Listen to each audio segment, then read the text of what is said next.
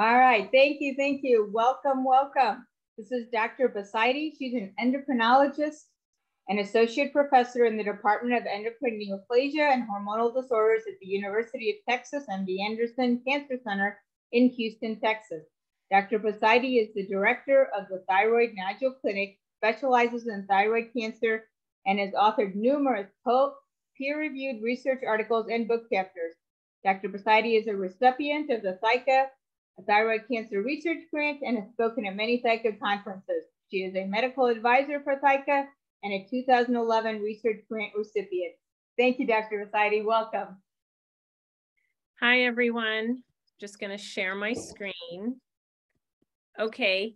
Um, so thank you for that nice introduction, Barb. Um, I'm so excited to be back at ThyCa. Um, I do wish that um, I do hope that we can all see each other soon, but I'm glad that we found a way to reach more people and um, and uh, and be together and still have this meeting safely. So today I'm going to talk about uh, biomarker testing, what biomarkers are, and who actually needs testing. So thank you so much, everyone. Okay, so when we talk about thyroid cancer, as all of you know, um, there's four types of thyroid cancer. Uh, papillary is the most common, follicular second most common. Together though, throughout the talk, I'm gonna call papillary and follicular differentiated thyroid cancer, or you'll see it abbreviated as DTC, okay? Um, and then the rare, uh, rarely um, people can have medullary thyroid cancer, which is from a different cell of the thyroid. And then anaplastic thyroid cancer, thankfully, is the most rare. So I'm going to try and touch base uh, um, about biomarkers in those uh, three groups in general, okay? So when we talk about differentiated thyroid cancer, remember that the, the three prongs of treatment are surgery, radioactive iodine, and then sometimes more surgery and more iodine, and thyroid hormone suppression are giving you a little more um, thyroid hormone than your body needs. And for medullary thyroid cancer, it's typically surgery and sometimes more surgery, but no radioactive iodine here. And then thyroid hormone just to keep your thyroid levels normal.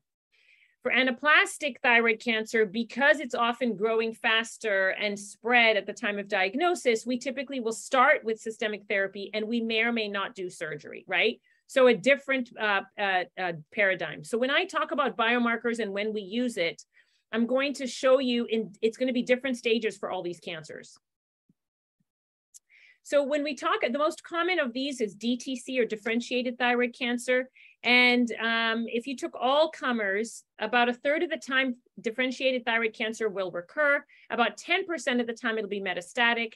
And about 5% of the time, will it be refractory to radioactive iodine? Okay, and those are terms that I'm going to be um, repeating, which is why I'm showing you this. So when we talk about thyroid cancer that's refractory to radioactive iodine, we're talking about a very rare disease, okay, and a small um, um, segment of the of these cancers. And so the reason that's important is even when you see your doctors you know you can't blame somebody if they haven't seen a lot of thyroid cancer if they've never seen um, a patient with radioactive iodine refractory because again most of the thyroid cancer that they'd see would have been taken care of with surgery with or without iodine so the treatment options for patients who have metastatic disease in the case of DTC is TSH suppression or giving you a little more thyroid hormone than your body needs. If it's iodine sensitive, giving radioactive iodine. And then the rest of these options we're going to talk about are common to all three um, to all three major types of thyroid cancer. Okay, so sometimes you can remove a, a metastasis, you can do a radiofrequency ablation or cryoablation, meaning freezing or heating it. You can radiate them, um, and you can do embolization. So those are available for all of the cancers. And then there's what people call traditional chemotherapy, um, which is also called cytotoxic chemotherapy, which basically breaks down rapidly dividing cells. And then there are other therapies, which most of you have heard of, which is in different sessions, but we'll talk about why that's important to understand those therapies because biomarkers play a big role there. And so I want everybody to remember that radioactive iodine is the first molecular uh, targeted therapy because it, it targets specifically the thyroid cell. Um, and so it is very specific to differentiated thyroid cancer.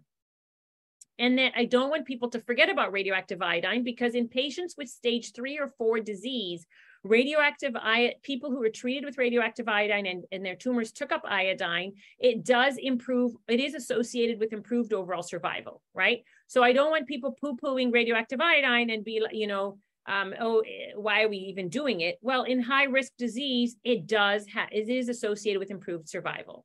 Okay.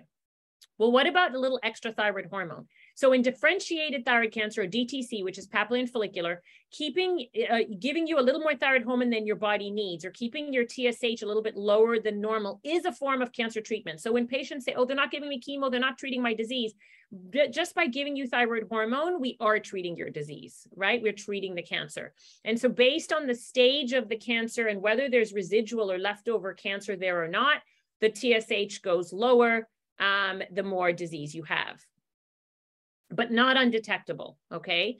And this is just a um, graph to show you that patients who have higher risk disease, stage three, four disease, that lowering, keeping your TSH suppressed does, is associated with improved survival. So giving you the thyroid hormone is helping your survival, right? Um, and now there's different studies going on as to how long that needs to be done, but in the initial stages, it is a form of anti-cancer treatment. Well, what about other things to treat cancer that's spread outside, which is what metastases mean? So if it's in the CNS, central nervous system means brain or spine, you can do surgery, you can do radiation, and you can do iodine. If it's in the bone, again, if it's weight bearing bone, they can do surgery, you can do radiation, and they now have more localized radiation. So it's not two weeks, it can be a, a zap over one or two days. Radioactive iodine if they're sensitive. And then there's what's called bone modifying agents. So bisphosphonates like zoledronic acid, um, denosumab, another, the brand name is Xgeva. So there are drugs that can help decrease it from spreading in bone. So what do we do when patients have thyroid cancer outside of the neck? It's what's called distant metastases. We have to look at where the disease is, and there's five factors that we look at. And the reason for this is once thyroid cancer has spread outside of the neck, there is no cure. Okay, so they may take up iodine. You can use iodine. You may be able to do surgery, but typically it's it's um, it's incurable, right? And the reason I say that is not to try to be negative. I'm saying that so people understand that because I can't tell you how many patients I'll see and they were like, oh, they told me that it's fine. That thyroid cancer is the best kind to have. First of all, cancer is never good to have. Oops, sorry. Um, and second of all, that um, it's important to understand what we're dealing with so psychologically we're able to deal with it right? I can deal with the fact that i'm living with cancer but i need to change my mindset to say i'm trying to cure myself of cancer right? It it, it helps a lot. Sorry about my slides. Okay. So when patients have thyroid cancer outside of the neck we look at where is it? Is it in a critical location that if it grows it'll cause problem? Does it take up iodine? And if it's resistant to iodine it's called radioactive iodine refractory does the patient have any symptoms from their disease um, and sometimes that's hard to tell. What's the size of the tumor? And is it growing or not? That's what we mean by structural progression. These will help determine what the next steps are. And then when we know, when we think about if patients have thyroid cancer that's refractory to radioactive iodine, there are four definitions that we look at with decreasing evidence. Do they have known sites of metastasis that don't take up iodine? Did their disease progress within six to 12 months after treating with radioactive iodine? Have they had a lifetime dose of 600 millicuries or more? And does their um, tumor take up FDG or radioactive sugar on a PET scan? Those tend to be um, tend to suggest that the disease is refractory or resistant to radioactive iodine. What are the guidelines? ATA's American Thyroid Association. I'm just showing you one of the guidelines here um, that if patients have known thyroid cancer that's outside of the neck or in the neck, but can't be surgically removed, that doesn't isn't causing symptoms, is not clinically significant, then it's okay to monitor these patients, give them a little more thyroid hormone than the body needs, or what's called TSH suppression, and then just follow you. Okay, don't say goodbye. Follow you with scans of where the disease is every three to 12 months right? And that's so important because what you're looking for is okay, you have disease there. We need to figure out if it's slow growing or fast growing or not growing at all. So we have to keep seeing you for life with imaging every three to 12 months on TSH suppression. Okay, very important that everybody understands that. Now, if somebody has disease that is growing, so you now have done those serial imaging and you see that the disease is growing in the lungs or the neck, then the guidelines say that that's the time to think about systemic therapy. And we're going to talk about the systemic therapy, sorafenib, lenvatinib, okay, kinase inhibitors, and then targeted therapies, okay, and what that means, because that is where the biomarkers come in. The reason I'm explaining this background is to understand why we even need to test for biomarkers um, is because we need to understand what are the treatment options and when are we using this information. So um, the targeted therapies for thyroid cancer now, thankfully, there's a slew of them, right? Specifically for differentiated thyroid cancer that's growing over a one-year period, there's sorafenib and lenvatinib. Okay, these are what are people calling MKIs, multikinase inhibitors, TKIs, tyrosine kinase inhibitors, or just KIs. And then for medullary thyroid cancer that is growing and not surgically resectable, there's vandetanib and cabozantinib. Okay, again, MKIs, TKIs. For anaplastic thyroid cancer that has a BRAF V600E mutation, dabrafenib and trametinib in combination was approved as first line.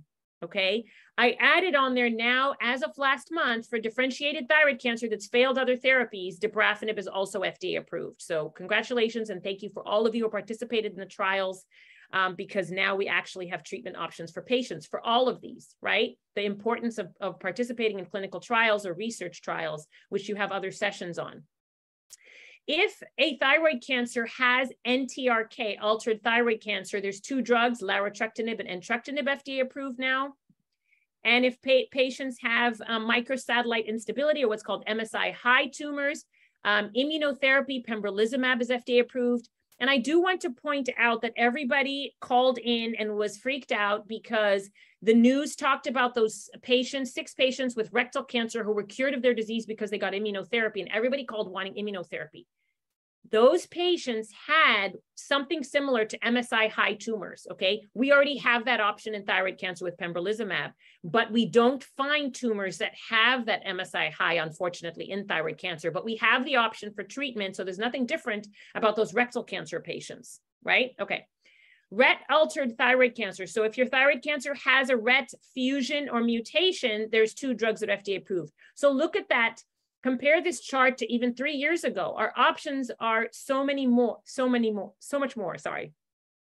So what are targeted therapies? So remember chemotherapy just means treatment against cancer right so everything is a chemotherapy. But when we say chemotherapy, what triggers in people's mind is, oh, I'm going to get something in my vein. It's going to make me nausea, vomit, and lose my hair. That is traditional chemotherapy or cytotoxic chemotherapy. That's they basically, the drug interferes with rapidly dividing cells, okay, of all types. So it gets your normal and your abnormal. Targeted therapies, which are these drugs that I just showed you the list that are FDA approved, the goal is to do less harm to normal cells and more effective against cancer cells, okay, to, to hit the, the actual target of the cancer. They will hit normal cells, that's why you get side effects, but the goal is less harm to normal cells. So again, radioactive iodine is considered a targeted therapy. Um, now, when we look at any one cell, it's like an alphabet soup. Our cells are very complicated machinery where we have multiple signals where the cell talks within itself and to other cells to grow, to die, and everything is a beautiful, perfect cycle of life. When you have a cancer cell, then one or more of these pathways goes haywire. You have what's called a mutation or a change in one of these parts, a semi part of a cell or pathway. So if you get a change in one of those cells, then basically the, the signal that tells the cancer, okay, die now, okay, grow now, okay, die now, and keeps it in balance is off. And it just says grow, grow, grow, grow, grow. Okay, so that's what would people mean when they say mutations or alterations in one of these pathways. And it looks like an alphabet soup. Um, you know, and so you'll see here names, things that come up in thyroid cancer. VEGF means it, it has a high blood supply. Thyroid cancers tend to be bloody. And then you'll see RAF and RAS. These are things you commonly see in thyroid cancer. So to break it down even further, this is the inside of a cell. The most common mutation in papillary thyroid cancer is BRAF or BRAF. Okay, 40 to 70% of papillary thyroid cancers have a BRAF. And some follicular thyroid cancer have BRAF, but not a V600E. And then you have RAS, and then you also have RET fusions and NTRK alterations. When they're more advanced, you have things in the PI3 kinase pathway. So all this means is that there is some change in the pathway within the cell that's made the machinery abnormal and it doesn't know when it should just die off because the cell has aged like normal cells. So it keeps growing. That's cancer. So what are biomarkers in thyroid cancer? Well, biomarkers are a way to measure those mutations or alterations, those changes in the cell pathway, okay? They're not, most of these are not genetic in that I can pass it down to my children. We call it all genetic testing sometimes, but it gets confusing. There's hereditary genetic, which is in every cell or half the cells in my body. And there's somatic mutations, with our changes or biomarkers that we can measure in the cancer cell. Okay, so what I'm showing you here is in the cancer cell, with one exception, I'll tell you. So in differentiated thyroid cancer and aplastic thyroid cancer, the most common is BRAF, but you can have RAS, you can have RET fusions, you can have NTRK alterations. And then in medullary, 20% of the time you have a germline mutation, which is hereditary genetic mutation, which is in the 50 in, in the cells of your blood that's passed down. But and the, the, the other 80% can um, 50% of that 80% can have a mutation on the RET gene on the tumor only. Okay, so you can have medullary, have a RET that's not hereditary. Okay, the other half has RAS and some others. So, um, and the reason this is important is understanding the cellular pathways that become abnormal um, in cancer can then we can think about drugs that can attack those cellular pathways to kill the cell off. Okay, so biomarkers are important. So we know what makes the cell go abnormal, then what drugs are we going to use to treat it? Okay, so biomarker testing, how do we even do this, right? Are there markers that can be done to predict who's going to respond to drugs? Well, yes, thankfully research has been has advanced in thyroid cancer. So the ways to measure biomarkers in general in cancers is you can do a tissue biopsy for somatic mutations. What does that mean? Well, I can biopsy your thyroid or your leftover thyroid cancer um, that's in your neck or what's been taken out. If you had surgery, I can test the tissue that's outside of your body for those changes in the cellular pathway or what's called somatic mutation that makes your thyroid cancer grow.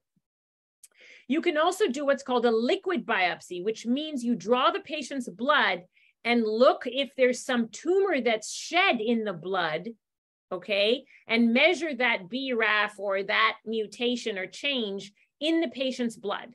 Okay, now it's confusing because liquid biopsies can also find hereditary changes, but we know by the percent of cells affected whether it's a hereditary thing, meaning I can pass it down, or it's just found in my blood because my I have cancer and it's shedding. Okay, so circulating tumor DNA means my tumor's shedding, it's not hereditary. And tissue biopsy is the most common, either when it's outside of your body or from a biopsy inside your body. Okay, and we look for those changes in the cell and we measure them, right? And as an example, you can look at the blood in anaplastic thyroid cancer and you can find what the cancer has on it about 84% of the time. Now, in, in medullary and papillary, it's not very, it's like a third to half the time where you can find something in the blood, and that's with people with fairly advanced disease. So it depends on how much cancer is being shed, whether you can measure it in the blood or not. So let me give you an example of a patient. It always helps to tie it back to patients. So I have a 55 year old gentleman who had uh, uh, his thyroid removed, radioactive iodine, and was put on thyroid hormone a little more than his body needs. And then he shows up one day, he has um, uh, thyroid cancer that spread to his lungs that's resistant to radioactive iodine. So he was treated with the drug that was FDA approved at the time, sorafenib, but he had side effects. Then he was treated with lenvatinib, which was also approved at the time for a year before his cancer grew. He developed shortness of breath, he developed liquid around his lungs called pleural effusion, and he needed oxygen, right? So he was definitely symptomatic from his disease. So they put these catheters, um, these, these tubes to drain the fluid around his lungs. And the question is, what next? I've used the two FDA approved drugs. Where do I go from here? And so his CT scan, the white spots are his um, cancer, um, looked like that. Well, anytime we're about to start a patient on targeted therapies or kinase inhibitors, or if we're changing treatments, we always do an MRI of the brain, even if they don't have symptoms, to look for um, thyroid cancer that's in the brain. So people call this brain cancer. This is not a separate cancer. This is thyroid cancer that's gone to the brain, so called brain metastases. So this gentleman had very small spots, but they were still present at the time of changing therapy. So now that his cancer has grown on lenvatinib and sorafenib, what should we do? Well, this is a good time to do mutational testing or biomarker testing, right? What, is there any cell cellular pathways that are abnormal? Does this cancer express any abnormal genes or proteins that are making the cancer grow that I can find a drug to attack it? So we tested his tumor that we already had, right? That was already removed years ago. And he had a BRAF V600E, which is the most common um, mutation or change in the cellular pathway for papillary thyroid cancer. So there are drugs, thankfully, that were FDA approved for melanoma at the time that have a BRAF. So we just said, let's go ahead and try. And we treated the patient with dabrafenib, a BRAF inhibitor. Okay. And we know in patients who had melanoma with a BRAF that if they had the, the, the cancer in their brain, that it shrunk on these drugs called BRAF inhibitors or dabrafenib. So we went ahead and treated him and to see. And when the patient started on dabrafenib in only a few months, he was doing well. He was off oxygen. Um, his MRI of his brain no longer showed the cancer in his brain, and his PET scan showed improvement in his lungs and his bones. Right now, this is not a cure. It's important that your doctors explain to you that these drugs are not cures. And once you start these drugs, you take it as long as you can um, withstand it and as long as it's working on your cancer, right? Otherwise, we give it to you the minute we saw spot. We give these drugs only when it's growing because it slows the growth down. So now how do you know which drug to choose, right? I showed you a whole page of drugs now that are FDA approved. And so this is not in the guidelines. This is an MD Anderson approach. And what I want to show you is the time to do the biomarker or what's called mutational testing is in somebody you think in the near future may require what's called systemic or targeted therapies. This is somebody you uh, think surgery will be difficult in the future or um, um, or they're going to need some sort of chemo, or if they have distant metastases, right? So you notice I didn't say as soon as somebody's diagnosed with thyroid cancer, do biomarker testing. I know people do that, but if it doesn't change your management, why are you doing that? Because I'll tell you what happens with patients. They have a one centimeter thyroid nodule, gets biopsied and mutational testing sent at the same time. They told they have a BRAF and papillary thyroid cancer. Now, for a one centimeter papillary thyroid cancer, you would just cut out half that thyroid, right? Depending on the location, maybe the whole thyroid max, but you wouldn't give them iodine and you wouldn't do anything else. So why did you do that BRAF testing? Now the patient's gone and said, oh my God, BRAF, half these people do poorly and this happens and this happens, but not at one centimeter. So those, uh, those things that in a thyroid cancer that tell you how what the chance and the risk of recurrence you know still, and you've had this in other lectures, that still trumps all mutational testing. So mutational testing should be reserved for when you're any testing, if you're going to do something about it in the near future. So anyway, what this was before the BRAF inhibitors were approved, which was just two weeks ago, okay, for all cancers we would do, we did the testing for BRAF if they if they couldn't have you know lenvatinib sorafenib because it was invading their blood vessels or whatever, we would go straight to a BRAF inhibitor. Otherwise, we could consider lenvatinib or sorafenib. If they had one of those rare mutations like NTRK or RET, which I'll show you, then at the time we were putting them on clinical trial, now these drugs are FDA approved. And if they didn't have a BRAF, we would go straight to the lenvatinib and sorafenib. Okay. So um, it's important to know that we did a lot of trials looking at BRAF inhibitors because BRAF was the most common biomarker in papillary thyroid cancer. It's important to know if the drugs work or not. Well, they weren't cures like melanoma, as you've heard in other lectures, but it got FDA approved last month for any cancer that has a BRAF V600E mutation that has failed previous therapies. So some people interpret that the patient has to be on lenvatinib or sorafenib because those are previous therapies. I interpret that if you don't, you can't have surgery and um, and you failed radioactive iodine, those are previous therapies. So I will fight to the insurance to go ahead and get the BRAF inhibitor if they need it, right? So if, if somebody has tumors that are growing and they need targeted therapy, the biomarker testing will help decide what treatment I go on. So there's also current new approvals, NTRK inhibitors or drugs and RET inhibitors, right?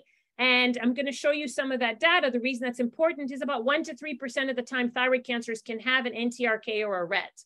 So it's not just about BRAF. We need to look at the tumor and test for all these things because now, thankfully, there are drugs available. So NTRK um, was something recently discovered. They have what's called gene fusions or alterations that are present in differentiated thyroid cancer and in anaplastic thyroid cancer, not in medullary.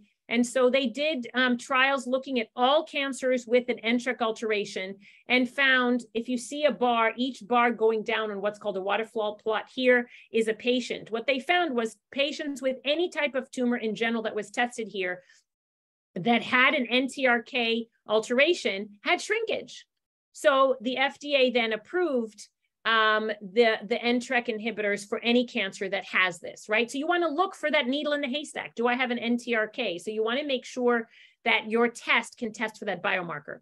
Patients, a lot of them had a long response to therapy. And so two drugs, larotrectinib and entrectinib, were FDA approved for any NTRK altered cancers where other therapies are ineffective or the tumor has progressed. So in thyroid cancer, we tend to say when it's growing and we want to slow it down because again, these are not cures.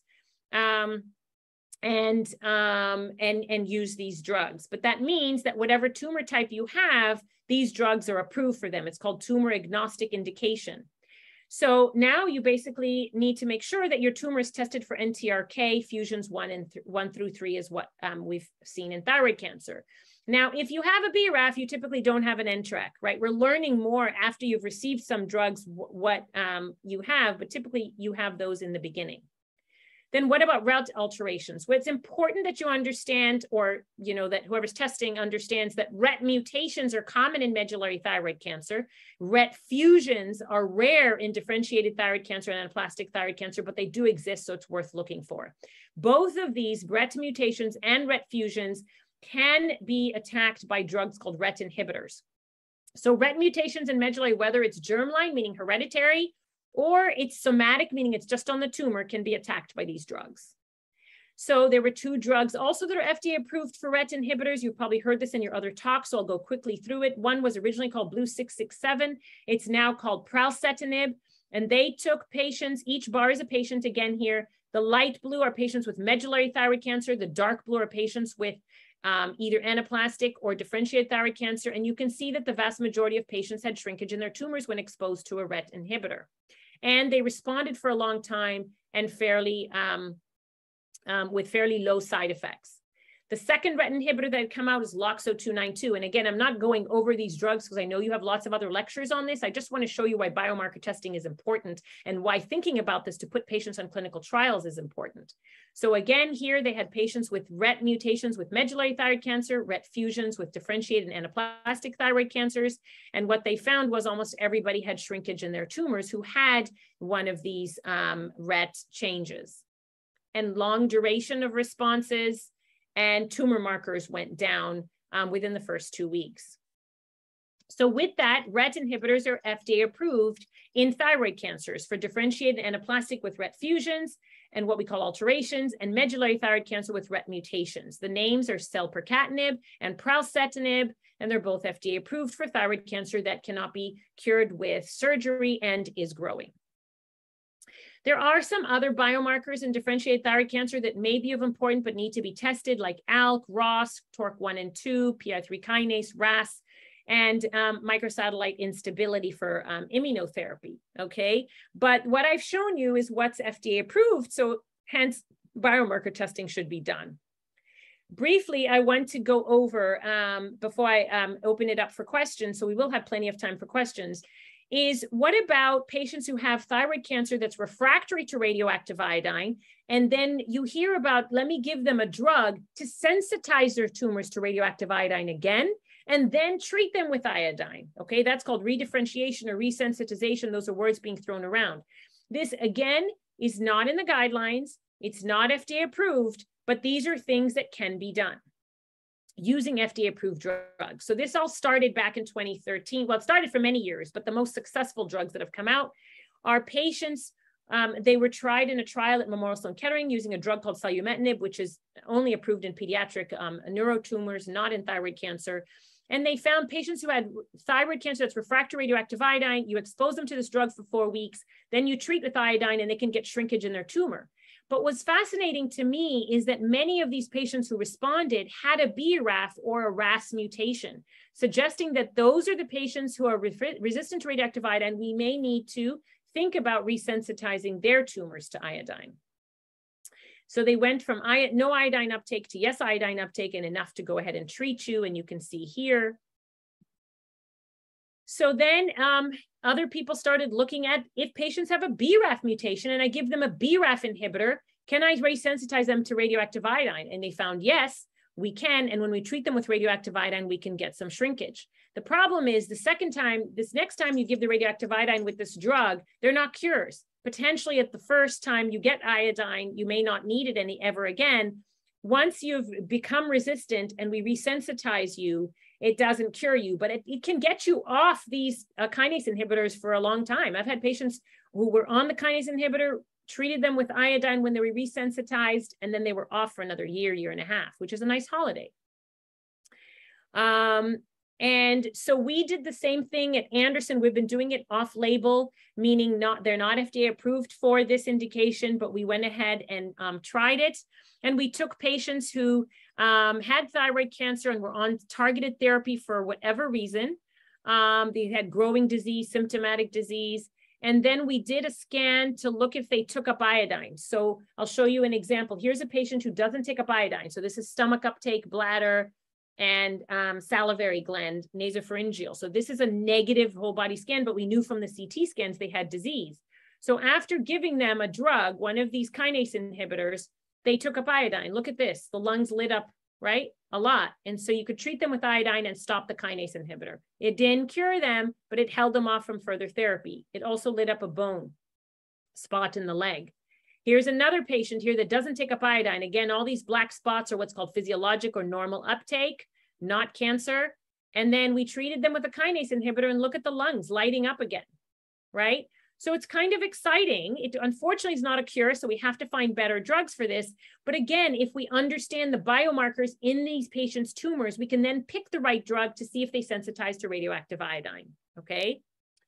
Another reason to do biomarkers. This is a patient who had medullary thyroid cancer who had multiple drugs on clinical trials and still, you know, after a year would progress or two months would progress depending on the drug. And then we tested his tumor in what's called the liquid biopsy we talked about earlier. You measure if tumor is shedding and if there is a gene or a protein that's abnormal on the tumor that's shedding in the blood, because we didn't have any tissue to biopsy at the time. And it found resistant mechanisms, which means why is this patient not responding to these drugs? We're giving him all these drugs.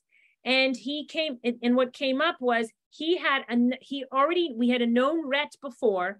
Once we exposed him to all these drugs, his cancer became smart and changed the mutation and made a new um, abnormal gene on the cancer. So these cancers become smart and they get a new gene that then um, can make the cancer grow and escape that targeted therapy from working. So it's important to repeat this testing when, if this patient is responding to drugs and suddenly not, something's different about that tumor. Did that cancer get smart so you can rebiopsy or do a liquid biopsy at the time, right? So there's a role for biomarker testing in advanced disease when you're thinking about starting chemo, uh, systemic therapy, and then if systemic therapy stops working, okay? So this, this was one of the first times that was identified that this type of RET, it's a specific subtype of RET, is actually um, makes the tumor resistant to the common uh, kinase inhibitors, right? So fascinating. You're like, okay, well, these drugs were working. Now it's not working. And he got a RET and these should work. But this type of mutation is called a gatekeeper, which means it's resistant to these other kinase inhibitors. So we need to think about something else. Um, so in summary, who should get biomarker testing? It should be patients in whom you think testing will make a difference. So that's patients who you think are going to need systemic therapy in the coming year, targeted therapy, chemotherapy, whatever word you want to use, right? Because there are now drugs that can be personalized to your type of cancer. So for differentiated thyroid cancer and medullary thyroid cancer, um, and patients with advanced disease, those whose surgery cannot remove all the disease, and patients with metastatic disease, not all comers with small tumors, but in anaplastic thyroid cancer, biomarker testing should be done on everyone because by definition, anaplastic thyroid cancer is stage four, right? So by definition, the rule is metastases. By definition, the rule is progressive disease. So at biopsy, at diagnosis, anaplastic thyroid cancer patients should have biomarker testing, period, end. With differentiated thyroid and medullary, you can um, uh, do it in patients who have advanced disease. Okay. Remember, the vast majority of people who have differentiated thyroid cancer don't recur after surgery plus or minus iodine. A third of them recur, and 10% of them have metastatic disease, and 5% of them have radioactive iodine refractory. So you don't need to do biomarker testing in all these patients. Now, I know you're going to tell me, some of you, that it's become cheaper, it's become easier to do, but the anxiety, the, the anxiety it causes to patients is massive. And literally, that is harming my patients today. So I do want to point out that there's a large variation in cancer. We have so much more to do. So if this x-axis is the normal lifespan and you reach your goal line, and the y-axis here is the volume of disease, anaplastic thyroid cancer patients in general don't reach their goal line, okay, and have a high volume of disease. Patients with radioactive iodine responsive differentiated thyroid cancer tend to reach their goal line, not always, but tend to reach their goal line and have small volume disease. But those patients who have radioactive iodine refractory disease, it's a very mixed picture. Some of them will reach their goal line and have small, slowly progressive or stable disease till they um, pass from something else. Some of them will have rapidly increasing disease at some point in their disease and have high volume disease. And we need to understand the difference in these patients and these patients. So one start is biomarkers, but even within that, there's something else. So remember, this is an alphabet soup, and this is changing every day. More and more research is being done, um, thankfully, and um, more and drugs are being available to patients with thyroid cancer. So we will, with your help, find the cure. If somebody's interested in looking for clinical trials, there's a slew of um, uh, websites, but clinicaltrials.gov is probably the most up to date. Um, and you can, of course, talk to your physician. And I liked what the president of the American uh, Society of Clinical Oncology had said many years ago, about 10, 12 years ago now, that you know we have to think about cancer um, not as stupid you know that they're smart cancers. And cancers don't come with one mutation or alteration. They can get lots of mutations and we need to discover it and discover drugs. And one single drug may not work right? Um, that they, they don't think of cancers as not having resistance. They get smart they outsmart it and then they will beat the single drug to bring resistance so we have to personalize patients' um, treatment, find the right patient, what's the abnormal gene or pathway, the right drug, what is the drug for that pathway, and the right dose at the right time, right? The goal of treatment is to prolong patients' lives without affecting their quality of life as much as possible, right? Not just, oh, I have cancer, give me a drug. We have to think about the whole patient as a whole. So how are we going to do this better? Well, we have to identify novel drugs, do more research, and thank you to you all for participating in clinical research and being interested in asking questions and challenging your doctors um, and your healthcare team. And then we need to biopsy the tumor and send it for molecular testing. There's many companies, many ways to do it. There isn't a right or wrong way to do this. And then we need to also think about testing the blood for molecular testing. Um, even though it doesn't work very well for differentiated thyroid cancer, about a third of the time, it works very well for anaplastic. So finding the right type of tumor and the right type of test. And remember, we have a lot of FDA approved drugs now based on mutational testing, NTRK, immunotherapy if you have microsatellite unstable high, RET inhibitors, BRAF inhibitors, and then we have the more generic kinase inhibitors. And then there's off-label use of drugs that are in, in off-label or in clinical trials, and we think about enhancing the patient's tumors with radioactive iodine. I'm sorry, with drugs for radioactive iodine. So remember, there's a slew of drugs out there, so testing is important if we're thinking about it. So with that, in the remaining time, I want to open for questions and thank, um, I'm here talking, but it takes a whole team to take care of patients. Um, it's not just me. And at the center of that team are our patients. And thank you for all that you do. So thank you so much. I'm going to stop sharing my slide and then read some of these questions um, that are in the Q&A. Um, okay, so uh, one pay, uh, somebody's asking, my genomic testing came back as TET2. What exactly does that mean? And so I would refer you to, um, to, to talk to your doctor who can get the help of a genetic test. Things are changing all the time. So right now there are some patients with thyroid cancer that have TET2 and we don't know fully what it means in terms of targetable drugs, but things are changing every day. So I encourage you to talk to your doctor so that they look for clinical trials and think about whether this is what's called a driver mutation or a, a, a, a biomarker that's making the cancer um, uh, change. Um, NTRK fusion. How do you make a decision on whether to pick larotrectinib or entrectinib, knowing that entrectinib inhibited more than NTRK? Okay, so this is a good question. So in patients who have thyroid cancer that has an NTRK fusion, how do you know which drug to make?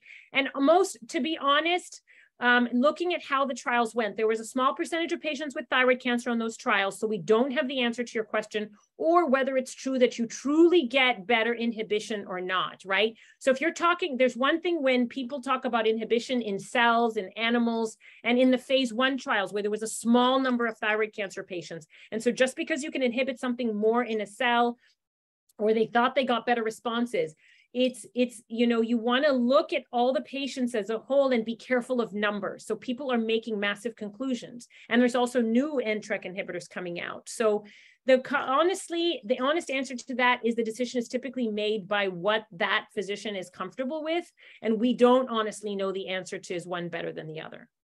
Have you seen any germline mutations with patients who also have NTRK tumor fusions? And if they have an NTRK and one tumor could potentially be different mutation fusion in other metastatic sites? Okay, let me rephrase this question. In general, patients who have mutations, somatic mutations, which means that mutation is on the tumor, there are certain um, tumor types where we know this is um, not hereditary and it's what called um, um somatic, so it's on the tumor.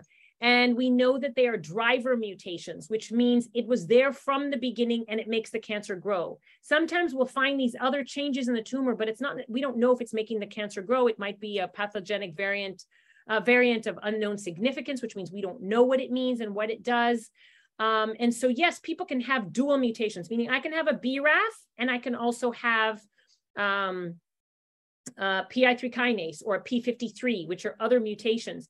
But the BRAF was probably there from the beginning. And as it got more advanced, a P53 or a TERT was added.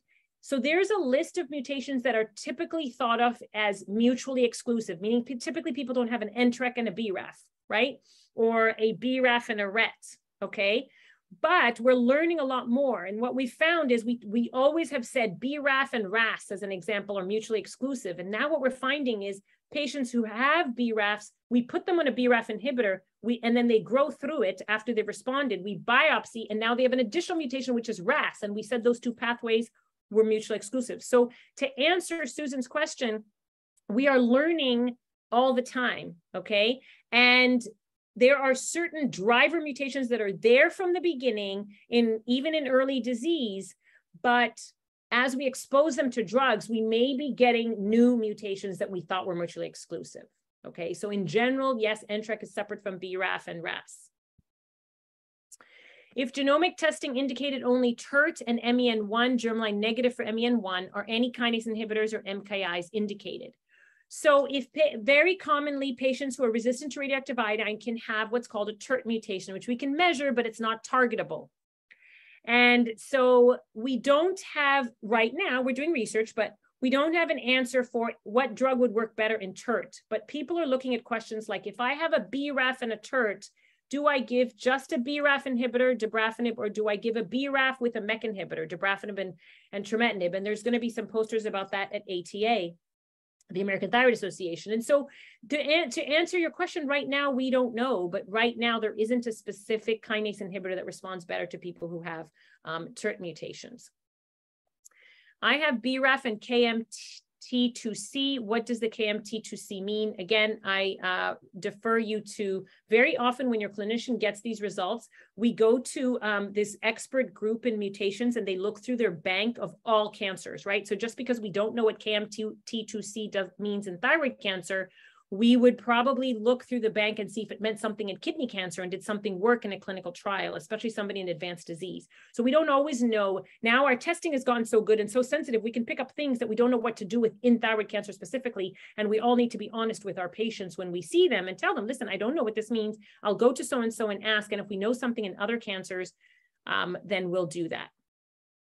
If you have very good response on targeted therapy, such as larotrectinib with almost 100% resolve of tumors, would stopping the drug make sense? Okay, so this is a good question for any of these drugs.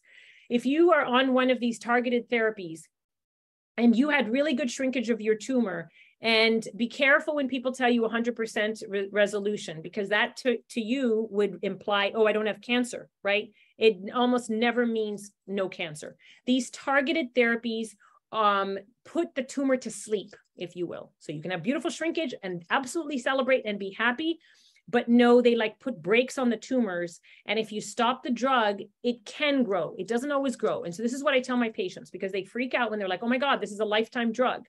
So what we do is we start the drug. If they're shrinking, typically you see shrinkage the first three to six months, and then things stabilize out, or you just see stabilization of disease from the beginning.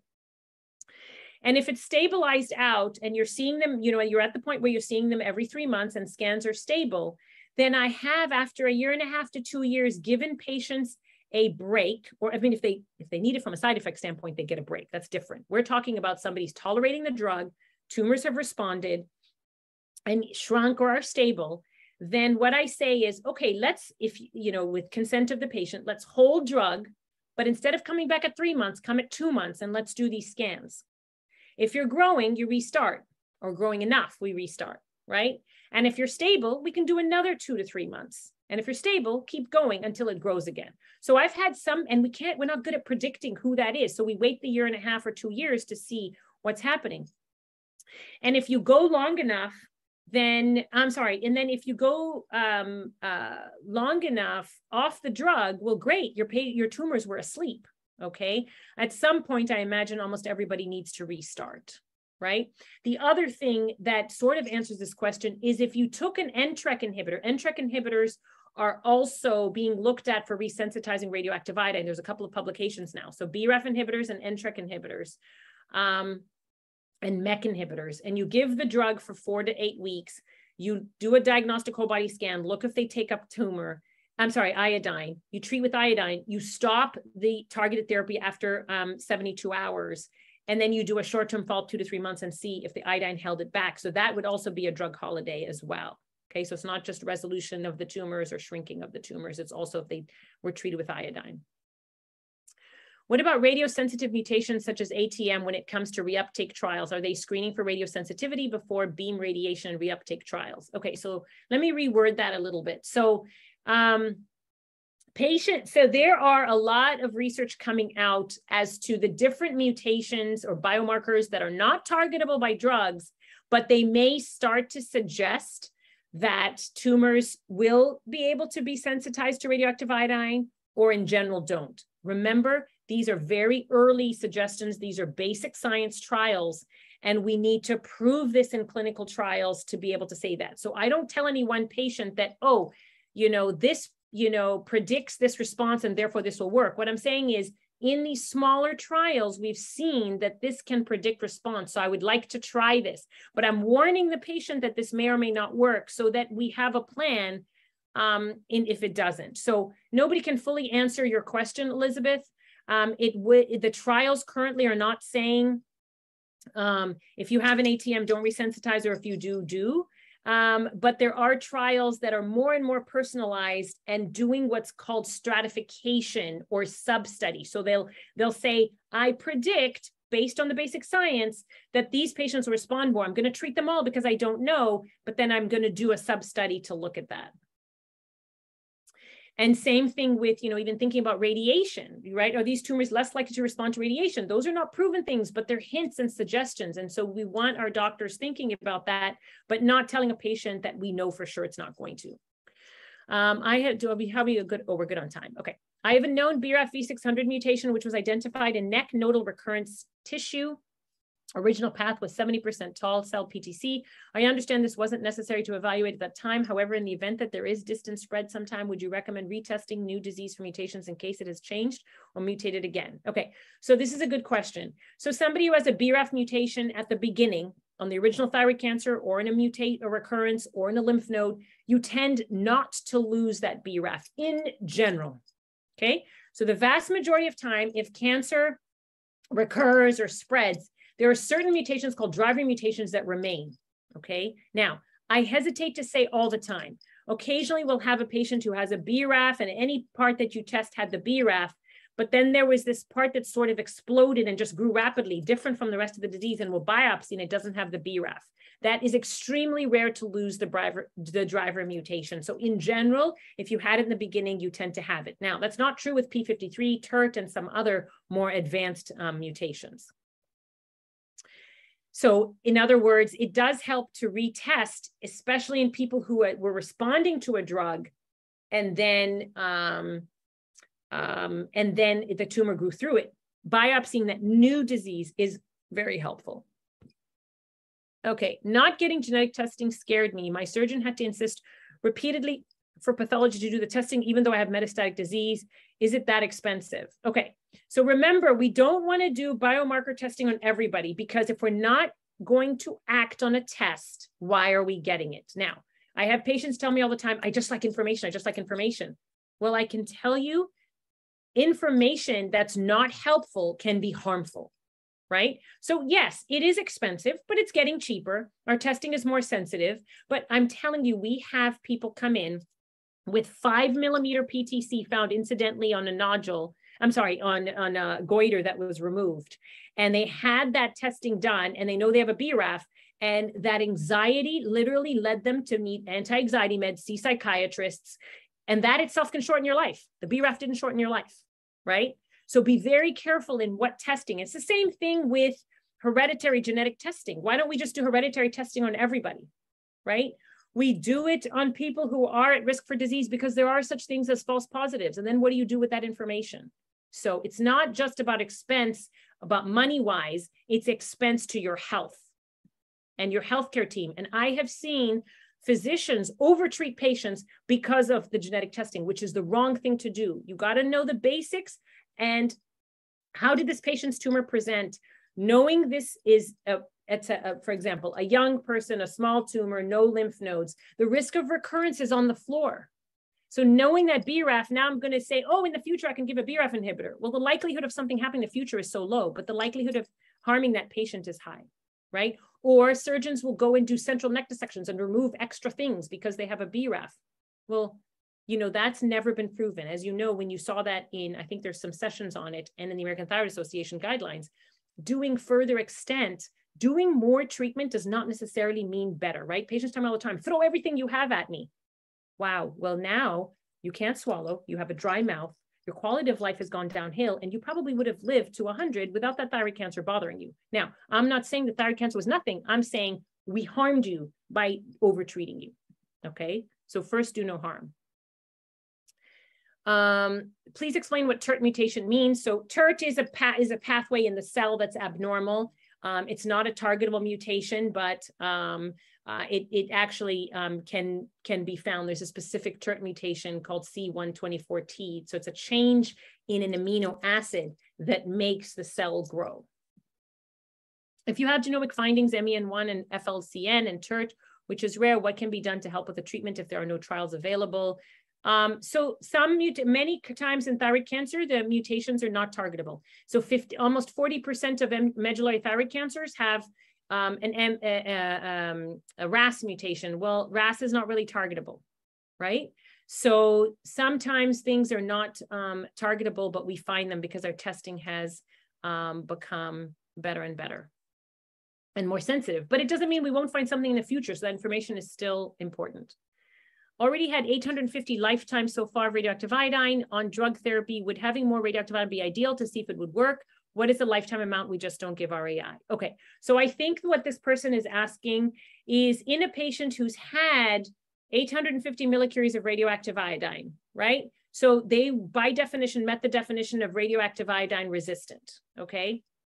Then um, they were put, and they had progressive disease, right? Because they're not going on drug just because they have disease. They had progressive or symptomatic disease. So they were put on a drug. Would it make sense to do a diagnostic whole body scan to look if their drug resensitize their tumor to iodine? Is it even possible to give more radioactive iodine? And at what point do you stop? So I think for somebody like this who's had 850 millicuries, we, you know, over 500 millicuries, we talk all the time, is it worth it or not? And I think it's an individual discussion with the patient, just like everything else. There is no rule, right? Because first of all, radioactive iodine sensitivity and resensitization is not even in the guidelines to go ahead and do. So let's first put that disclaimer up. Okay. So nobody here is saying we know radioactive iodine resensitization is the right thing to do. It is things that are available and people have started doing. But we need we we just talked about this in several of our societies is that we need to study this in larger numbers and put all our heads together internationally. So we're going to you know do a trial on that because we have to understand the safety right? People think oh it makes sense. If you can resensitize radioactive iodine give me radioactive iodine i can get off these chemos and therefore it's less toxic. Maybe but maybe we changed your tumor to a worse tumor right? We always have to think about everything as two-sided. So in somebody who's had 850 millicuries, it's an individual discussion with your doctor. Pros and cons of giving more than 850. Check your blood counts. Did you have any bone metastases? Did you have any uh, effect on your bone marrow. What is the likelihood that you will get into trouble? Um, there are fancy things that can be done called dosimetry to see what's the likelihood that you'll get poisoning in your blood or your bone marrow and or that it'll get into the tumor. So it's not a yes no. This is a very individual discussion with the patient and we take these all very seriously. Um, so is a PTEN mutation targetable in Hürthle cell cancer that has metastasized to the lungs? So Hürthle cell is very um, hard because the vast majority of Hürthle cell cancers don't have a targetable mutation. Okay. There are, are people working very hard um, at figuring out what are, uh, we need better drugs, better trials for patients with Hürthle cell cancer because the tumor doesn't have targetable mutations in general. Um, and, you know, there have been studies with metformin and some other things of drugs similar to resensitizing. They're all in trials. And so, you know, um, it Hürthle cell is a special group by itself. Now, you can have a PTEN mutation. It doesn't necessarily, so PTEN is in that category of the PI3 kinase pathway that was green on that cell pathway that I showed you. And there are some tumors that have, there are there are cancers that have PTEN as a germline, meaning a hereditary, and then in Hürthle, it's probably just on the tumor. And there are specific um, uh, mutations that don't respond at all. And there's some alterations that it's suppressed. It's a tumor suppressor, meaning it by shutting it down, it, it doesn't let um, the, the, the tumor stop growing.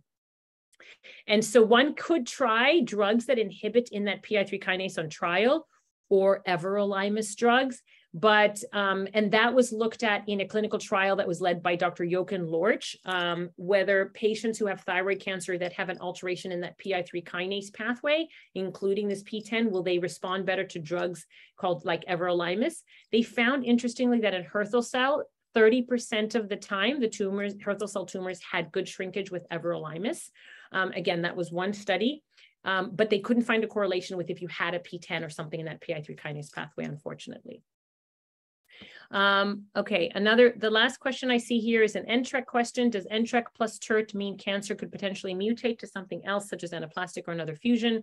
So any any mutation um, can suggest that at some point, rarely, rarely, rarely will cancers mutate to anaplastic or become more rapidly growing. Nobody understands why the thyroid cancer will change and become more rapidly growing. But NTRK with TERT does not necessarily mean that it's more likely to transform. But in general, those that have TERT are more advanced disease. So I think that is all the questions, Miss Barb, unless somebody has questions. We've done all the ones in the Q&A in the remaining one minute. Um, if there's any other questions, we're happy to entertain them. Otherwise, this was great. You've been a great audience, lots of nice questions. And um, um, let me know if you have any questions. Um, don't hesitate to contact us and um, have a good afternoon a good thank, yeah. Thank you so much. This was wonderful. We totally appreciate all your work your research and you're taking your time to come and talk to us today. So thank you everyone for coming and uh, we will see you all at the next session. Thank you. Bye bye bye. Bye